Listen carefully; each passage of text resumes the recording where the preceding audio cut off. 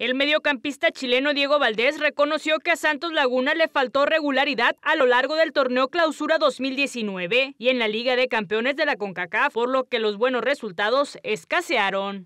Creo que mayor regularidad, creo en los partidos. Nosotros empezamos muy bien, veníamos de, enfrentar muy bien los dos campeonatos que estábamos haciendo.